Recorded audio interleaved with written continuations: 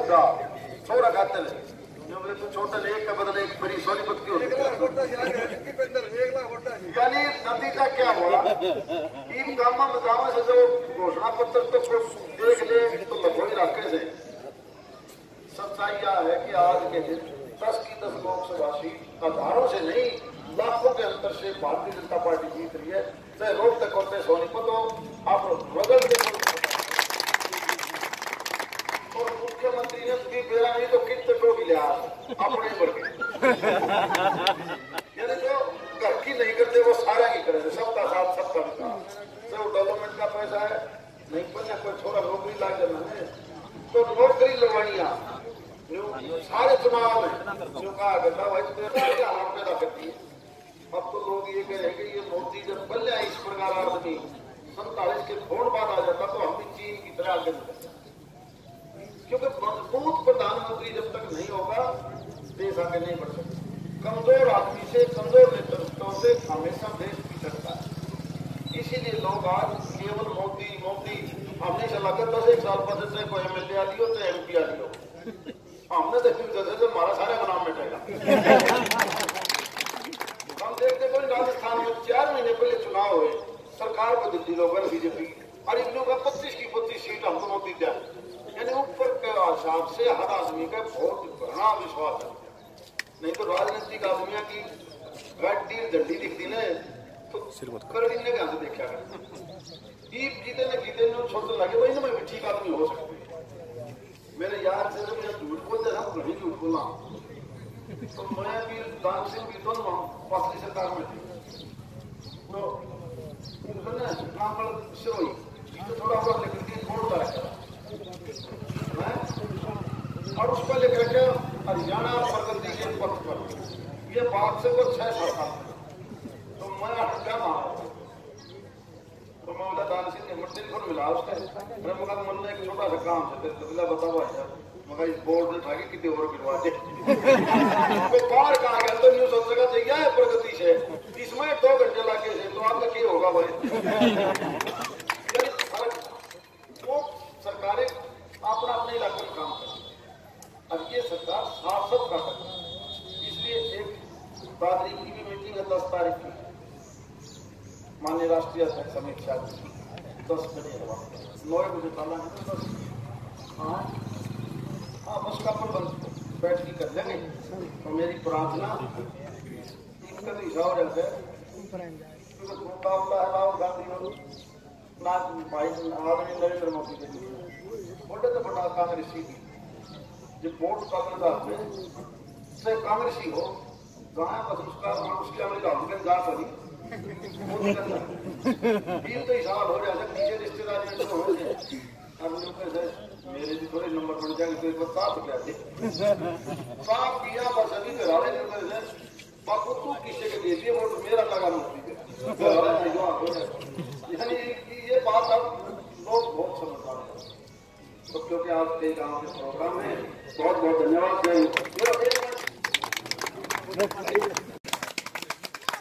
नरेंद्र मोदी। भारत माता की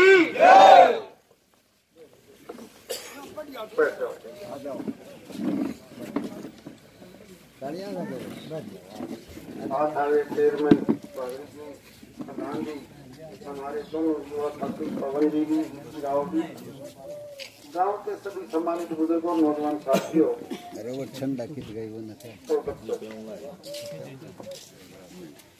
देखिए आप लोगों ने हमने कई चुनाव देखे। इस बार का चुनाव। कुछ अलग अलग से नज़र नहीं आता। पहले तो यूँ बना के थे उस एमएलए ने वोट डाल दो उस को डाल दो पे एमएलए एमपी तो खत्म। सीधा नरेंद्र मोदी बिहार तो आम आदमी को मान के चलता है। कि वह देश की बात दो मज़बूत आदमी के हाथ में मज़बूत आदमी के हाथ में होगी तो देश विकास करे वो आ गया कोई कमज़ोर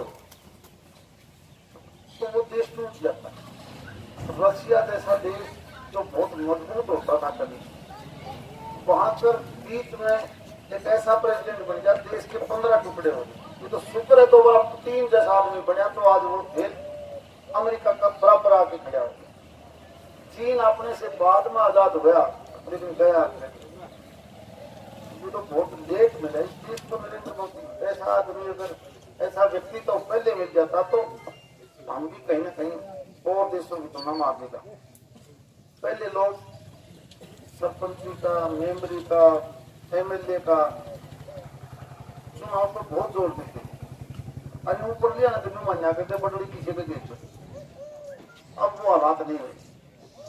देखो कितना लोग समझदार हुए देश में। राजस्थान में सिर्फ़ चार महीने तक कांग्रेस की सरकार बना दी। और ये जाके पूछो न्यूज़ में से पच्चीस की पच्चीस सीट मोदी ने देखो यानी कई बार हम यूँ सोचा करते, जब कट्ठे वोट पड़ जाने दो मशीन दे दे, ऊपर दी, नीचे उनमें भी लोग लगे अब देखते हो यानी इतनी समझ है आज के हरियाणा का मतदाता में इतनी शायद सोच पहले नहीं हिंदुस्तान में ये अंतर आ गया। अच्छा मोदी जी ने तो आने के बाद जो खजाना लाखों करोड़ों रुपए का किसी न किसी दूसरी जेब में जाता था, वो कहीं ना कहीं केंद्रीय खजाने में भारत सरकार के बजट में डाला है और प्रदेशों को भी फूक दिया कि आप भी अपना विकास करें। चाहे वो नहर का था, चाहे बिजली का था, सड़क का मामला था वहाँ पर भी दे सकता था और ये भी नहीं कि केवल बीजेपी की सरकार हो वही दिया हो, देश में चाहे विपक्ष की सरकार भी किसी प्रदेश में थी वहाँ भी दिया तो ऐसा आदमी जो देश की सोचता है अब वो कहता भी मेरी सरकार से हाथ टूट जाओ मैं वोट जितेंद्र राव जी को भाई विजय प्रकाश इस एक्स सरपंच पगड़ी पहना करके सम्मानित करेंगे हमारे जिला पार्षद प्रदीप मालड़ा को पीटीआई साथी निवेदन करूँगा पहना करके सम्मानित करें।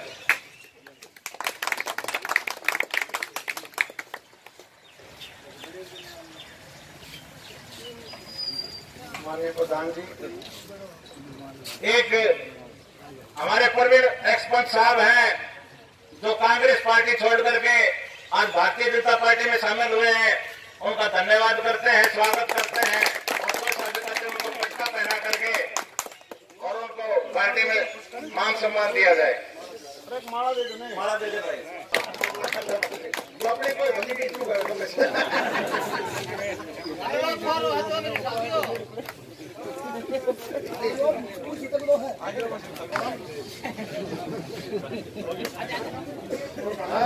तो मैं पाँच एक पहले आया था तो ही। आया हाँ पिछला में अपने साथ बीच में।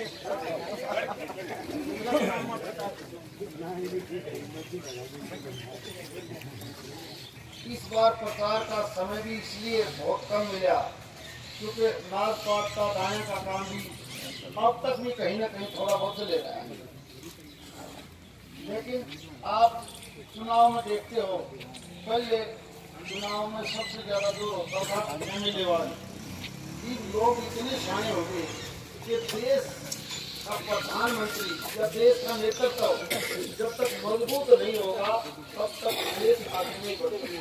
ये जागृति हिंदुस्तान में नरेंद्र मोदी के प्रधानमंत्री बनने के बाद है क्योंकि जो भी आप टैक्स देते हो डायरेक्ट या इनडायरेक्ट वो सारा का सारा कहीं ना कहीं भारत सरकार के खजाने में जमा है कुछ टैक्स जैसे गाँव में ग्रांट आओ है ना, वो पंचायत के खाते चली जा यू ऊपर वाला वो पैसा स्टेटों को जाता है अपना? पिछले बीस तीस साल से मिली जुली सरकार थी। किसी एक पार्टी का बहुमत नहीं होगी जब लाखों करोड़ के घोटाले होंगे तो सही बात तो ये है कि खजाने में तो पैसा जाएगा नहीं। और जब खजाना में नहीं जाएगा तो काम नहीं होंगे। इसीलिए जब से मोदी जी आए कि ना खाऊँगा, ना खाने दूँगा जो बजट पहले था उसको दुगना होगा और वही पैसा जहाँ सेंटर की स्कीमें थी, कोई रेल की थी, कहीं फौज की थी बड़ी बड़ी जितने भी थी ना, उनका काम फिर तेज़ी से चला और उन्होंने प्रदेशों को पैसा दे दिया। इन प्रदेशों की गाँव की सड़क की कोई बीस करोड़ होते थे। बारह बारह फुट की आठ फुट की आप देखते होंगे। कि पहले की तुलना में उन सड़कों पर सारा हरियाणा पट्टी से अपना अपना नहीं, हर जगह कहीं ना कहीं आपको दिखाई दिया होगा कि काम चला नहरों में भी कहीं ना कहीं दोबारा से निकले हुई या तो लिफ्ट कनाल का पैसा आया, यही होता है। इसीलिए लोग मानते हैं कि देश के लिए मोदी जी केवल ठीक नहीं। पैसा डिफेंस का देखोगे। हम उस कमेटी में दो लाख करोड़ का बजट था साल का पहले, दो हज़ार सोलह पंद्रह अभी वो चार लाख करोड़ से भी ज़्यादा हो तो हथियार खरीदने हैं तो लड़ाकू जहाज़ खरीदने हैं। सब के में खरीदा से भी वन रैंक, वन पेंशन का भी निपटारा हो गया, फिर भी पैसा हर साल बच जाता है। खर्च नहीं होता। और फैसले भी सही लेता है। पहले प्राइम मिनिस्टर। इतनी हिम्मत नहीं रखते थे कि अमेरिका, रसिया, चाइना के दबाव में अपनी सुरक्षा के लिए भी उनसे पूछना पड़ता था। पाकिस्तान जैसा आदमी, जैसा देश, अफ़गानिस्तान, सीरिया, इराक, जहाँ हर दिन झगड़े होते हों, उनके लिए अगर हर बार हम अमेरिका से पूछ के तुम्हें करांगे तो काम चल ही नहीं सकता। कोई भी फौजी से पूछ के देखना, कश्मीर में, आसाम में जब वो गिर जाता है ना आतंकवादियों के बीच में। उसके पास हथियार होते हुए भी वो हथियार की छूट नहीं थी कि तू चला ले। जब चलाओ तो कोर्ट मार्शल वगैरह उससे पूछो। और मोदी ने कह दिया भाई सिपाही तक छूट से क्यों पूछो तो हमारे पे ना अधिकारियों से पूछो जो फैसला लेना है वही करवाता अभी होगा के लिए भी हाँ। अभी शूट करो हाँ हाँ क्लियर हो गया इसीलिए तो एक अपने सिपाही हैं जैसे आप सॉरी हाँ हाँ हरियाणा पुलिस का है। आर्मी का लगा तो तो आर्मी का कह ये भी गलत है नहीं होता वहाँ नहीं। अब कर दिया। चलो ठीक है आप जो कर दिया जब तो राहुल गांधी का बयान पूरी पड़ा साहब आपने। राहुल गांधी जी को कहते मुन्ना प्राइम मिनिस्टर बनाओ या छूट उल्टी ले लो। तो। और देशद्रोह का कानून है उसको वापस लेना। इसलिए तो ये गड़बड़ हुई है। देखिए मोदी में रिश्वत बहुत बड़ी इसलिए लोग कितने जाने हो राजस्थान में बीजेपी की सरकार थी। लोग कांग्रेस की सरकार ली है अरे वही राजस्थान के तीन महीना बचने में कैसे ऊपर ले जाएँगे पच्चीस की पच्चीस सीट मोदी? मतलब कहीं चूक नहीं करते। इसलिए ये वोट सीधा मोदी का है।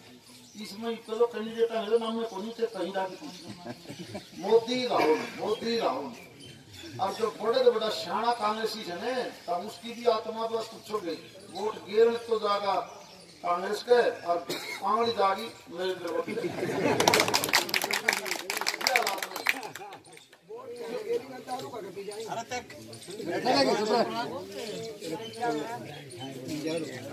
तो भाई, ज़्यादा तो क्योंकि आज और भी गाँव है। एक दस तारीख में राष्ट्रीय अध्यक्ष अमित शाह का प्रोग्राम है दादी बीच में प्रयास क्योंकि तो शिवाणी में जाता है नाम रखा तो एक बस सफल बनकर एक दिन का टाइम सुबह नौ बजे ज़रूर था बहुत बहुत धन्यवाद।